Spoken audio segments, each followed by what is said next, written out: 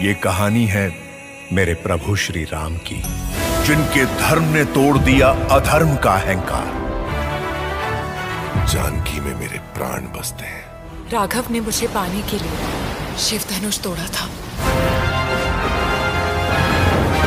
आज के इस वीडियो में बात करेंगे, पिछले दो हफ्तों से बॉक्स ऑफ़िस पर धमाकेदार कमाई करती जा रही फ़िल्म द केरला स्टोरी के शुरुआती चौदह दिनों के वर्ल्ड वाइड कलेक्शन के बारे में। वही पिछले हफ़्ते रिलीज़ हुई विद्युत जमवाल की film I B seventy one के सात दिनों के कलेक्शन के बारे में। साथ ही साथ बात करेंगे बॉलीवुड के असली एक्शन सुपरस्टार सनी देओल की फ़िल्म गदर टू के बारे में तो पेन इंडिया सुपरस्टार प्रभास की फ़िल्म आदि पुरुष के बारे में। तो चलिए शुरुआत करते हैं, देखते रहिएगा पूरा वीडियो।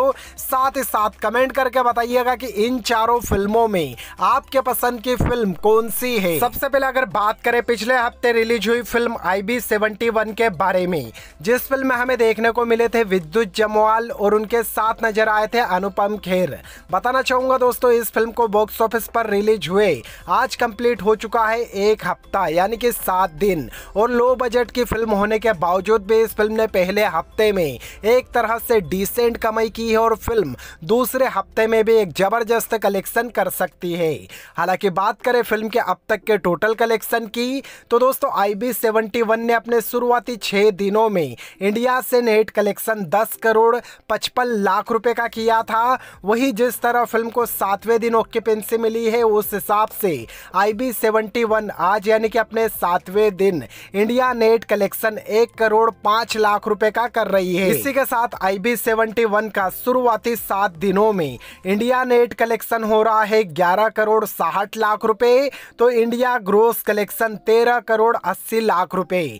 बताना चाहूँगा फ़िल्म ने ओवरसीज मार्केट यानी कि विदेशों से एक करोड़ सत्तर लाख रुपए कमाए हैं। इसी के साथ आई बी सेवेंटी वन का शुरुआती सात दिनों में वर्ल्ड वाइड ग्रोस कलेक्शन पंद्रह करोड़ पचास लाख रुपए का हो चुका है, जो कि फ़िल्म के बजट के हिसाब से काफ़ी शानदार कमाई है। अब देखते हैं कि यह फ़िल्म दूसरे हफ़्ते में बॉक्स ऑफ़िस पर कैसा कलेक्शन करती है। लेकिन दोस्तों, अब अगर बात करें दो हफ़्ते पहले रिलीज़ हुई फ़िल्म द केरला स्टोरी के बारे में तो कम बजट और ज़्यादा कमाई करने वाली फ़िल्म द केरला स्टोरी को बॉक्स ऑफ़िस पर आज कंप्लीट हो चुके हैं दो हफ़्ते।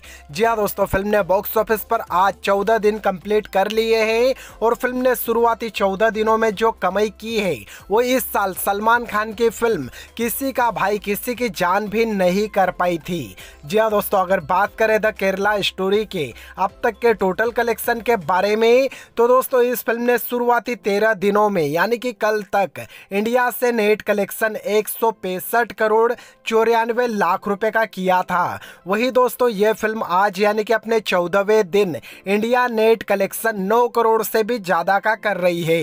यानी कि दोस्तों, द केरला स्टोरी का शुरुआती चौदह दिनों में इंडिया नेट कलेक्शन एक करोड़ का हो चुका है तो इंडिया ग्रोस कलेक्शन 208 करोड़ रुपए। फ़िल्म ने ओवरसीज मार्केट यानी कि विदेशों से लगभग 10 करोड़ की कमाई की है। इसी के साथ दोस्तों, द केरला स्टोरी का world wide gross collection 218 crore रुपए हो चुका है और the Kerala Story box office पर ब्लॉकबस्टर का टेग हासिल कर चुकी है। लेकिन अब अगर बात करें इस साल की one of the biggest film Adipurush के बारे में। जिस फ़िल्म में हमें देखने को मिलेंगे पेन इंडिया सुपरस्टार प्रभास और उनके साथ नज़र आएगी कृति सेनन, सैफ अली खान। तो दोस्तों 16 जून को सिनेमाघरों में दस्तक दे रही फ़िल्म आदि पुरुष, जिसका टीजर तो एवरेज था, लेकिन ट्रेलर की सभी ने तारीफें की और फ़िल्म के लिए जो एक्साइटमेंट है, वो ट्रेलर ने काफ़ी ज़्यादा बढ़ा दी थी। तो दोस्तों, यहाँ पर ट्रेलर के अंदर आपको आदि पुरुष फ़िल्म का एक सॉन्ग सुनने को मिला था, जिसका नाम था जय श्री राम।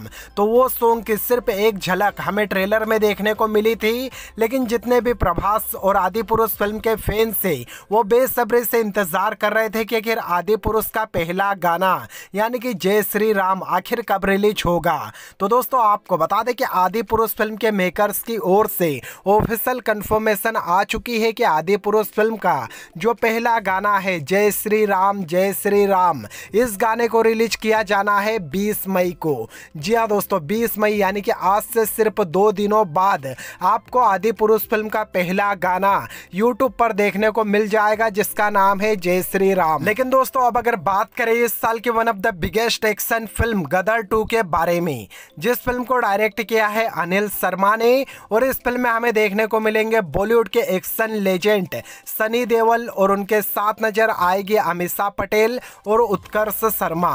तो दोस्तों, आपको बता दें कि यहाँ पर फ़िल्म गदर टू, जो कि रिलीज़ होगी 11 अगस्त को, लेकिन इस फ़िल्म का अभी तक सिर्फ़ फ़र्स्ट लुक रिलीज़ हुआ है। सभी फैंस बेसब्री से इंतज़ार कर रहे हैं कि गदर टू का टीजर आखिर कब रिलीज़ किया जाएगा। तो दोस्तों, जितने भी गदर टू और सनी देओल के फैंस है, उन सब के लिए एक बड़ी खबर ये आ चुकी है कि गदर टू के पहले आप सबको गदर वन फिर से बड़ी स्क्रीन पर देखने को मिलेगी। जी हाँ दोस्तों, आपको बता दें कि यहाँ पर गदर वन, यानी कि जो फ़िल्म आज से बाईस, तेईस साल पहले रिलीज़ हुई थी वो फ़िल्म। फिर से 9 जून को सिनेमा घरों में रिलीज़ होगी। और साथ ही साथ दोस्तों, ये खबर भी आ रही है कि जब गदर वन 9 जून को सिनेमा घरों में रिलीज़ होगी तो गदर वन के साथ में ही गदर टू का टीजर भी रिलीज़ किया जा सकता है।